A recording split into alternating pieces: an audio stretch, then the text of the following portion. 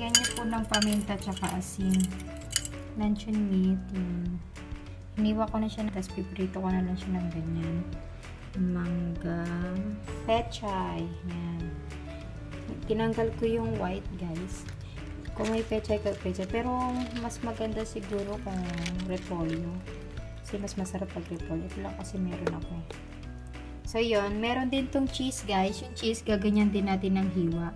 Yan, guys. Piprito ko muna tong itlog. Yan. Tsaka ito. Piniprito ko na ang mali. Pagkikita natin sa kabila ang itlog. Butter ang ginamit ko, guys. Ah.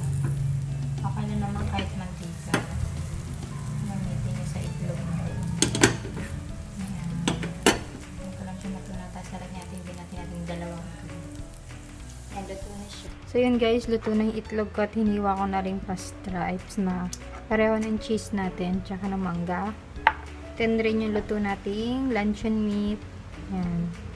Ayan sila. Lagyan natin sa gilid. Ngayon babalutin na natin sila.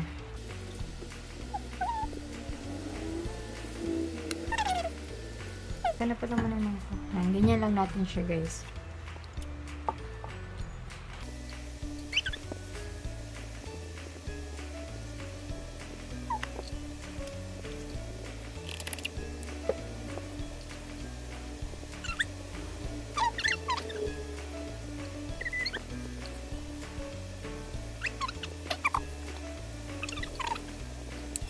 Mas okay to guys kung repolyo kasi itong pechay medyo matigas kasi siya dito banda. Ang hirap niya ikutin. Pag inirorolyo nyo habang nakaganon, hindi pa natin nasasalan sa ano, ipitan nyo na lang. Kasi bumubukas siya eh. Kaya ako iniipitan ko yung kamay ni Tricia. Anak baka umopen ha. Lagyan mo lang muna yung hands mo. Thank you.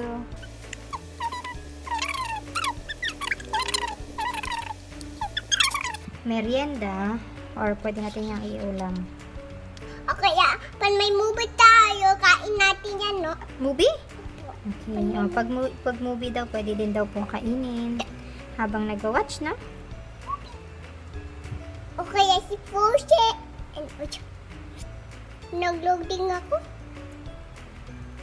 Yabi daw.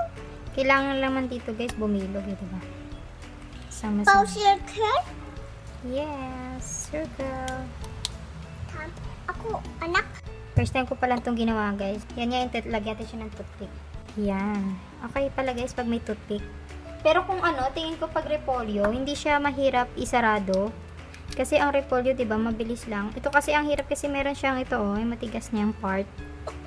Yan sa kanya ako nahirapan kaya hindi ko siya masarado. Yan guys. Ito guys, ngayon ko ito ginawa ah. Naisip ko lang bigla kasi sabi ko, parang sarap gumawa ng ng something nakakaiba. Anak, huwag mo kainin ha. Hindi pa luto yung gulay. May isa ditong makulit na bata na sa gilid ko. Huwag ka na makulit yun.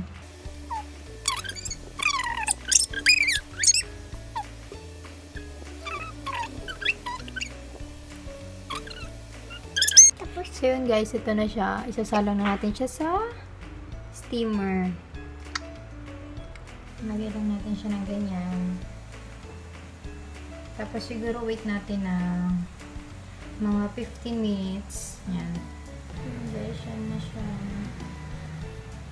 Yan, dito na yan. Kukunin na natin. Lagyan natin sa plato.